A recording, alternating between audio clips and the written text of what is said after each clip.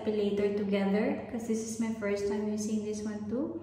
So let's try this and see. Braun and that's made in Germany. But we will need to wash our face first so we will detach the head muna and then change it over with the brush.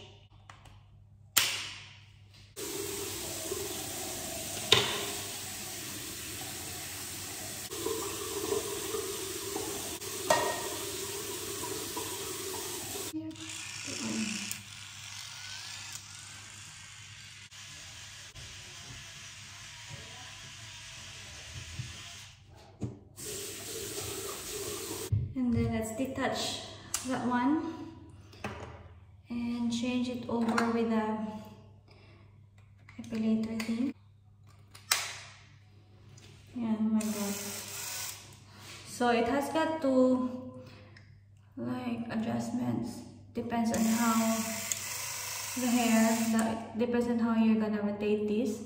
It's better if the face has just been recently washed and when you really need to have your face washed first. Let's wear my eyeglasses guys so that we can see properly.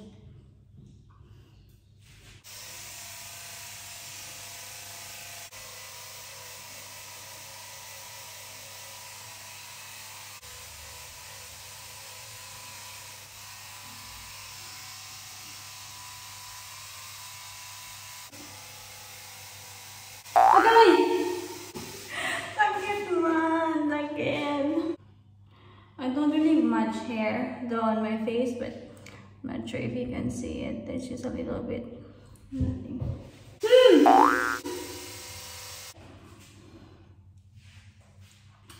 The feeling is just eye waxing. It's kind of like that. Um, though with this one, you can control on how, you know, how quick you wanna pull it, whereas, whereas in waxing, someone else is inflict the pain. But this one, at least it's you. It's not too bad, but it's painful.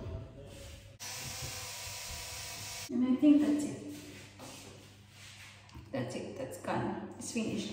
So when you finished, they have recommended that you have to use it at night because we may experience some redness on the area where you where you epilate. After you use the epilator, make sure that use some moisturizer or some serum, something like that, just to moisturize the skin and let the skin heal for a bit. My, I, I have a very sensitive skin and there's some little red marks in it, but that should heal up.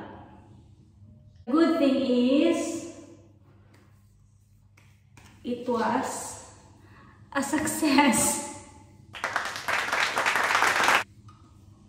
I don't know how often you're gonna be using this one for though. But my hair on this area here doesn't really grow quickly. So it might take a while until the next one will be. I'm pretty sure na the more often you're gonna be using it, the more you'll get used to it.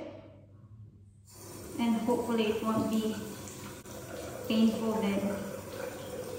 So the brush that we used before to wash our face, you can just rinse it with warm water and then let it dry after. That bit here, there is a little brush that you could use it for cleaning that section. This area here too is for the battery, so you just have to twist it and do it. And then you only have to use one AA battery and then replace it afterwards. Because this is this is not rechargeable. It's not the other one for the leg. that you can recharge it. So let's put some moisturizer on too.